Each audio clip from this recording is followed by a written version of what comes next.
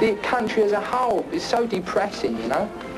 You know, it's like all these tourists come over and they don't realise that they go to the Houses of Parliament. They love it, you know, it's all nice. Oh, isn't England cute, you know?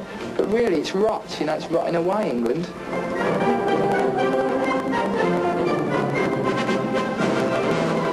For years and years, people have said, good old England, we fought two world wars, we won them. You know what I mean? So England, it's England's all about glory. Fine old England, Lionheart and all that. Well, that's crap, you know. The only future for a kid now is if they're lucky to get a sort of secure job. So like kids haven't got the choice anymore. They, they go, they either go in a sort of job like that, insurance or the bank, or they're on the dole.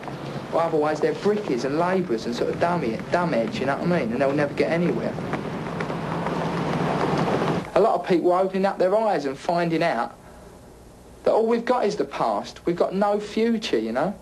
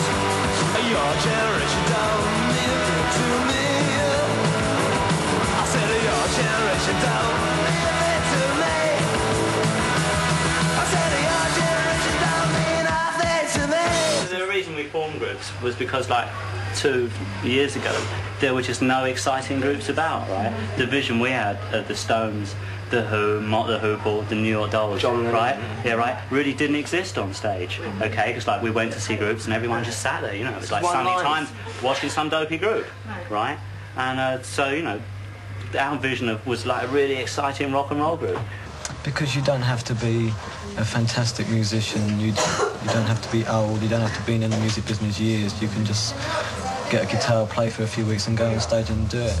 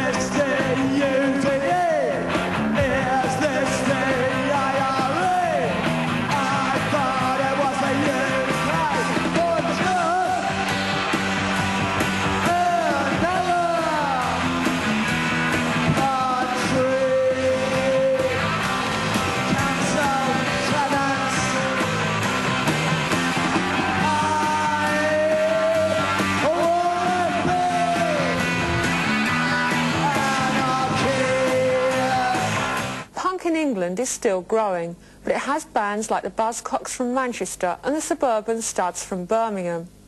Here in London, apart from the Pistols, there are about a dozen or so imitators. Either established bands cashing in on what they see as a punk craze, or other people treading the same route as the Pistols from Dole Queue to club dates. Bands like The Damned, The Vibrators and Clash, who've been playing for about six months.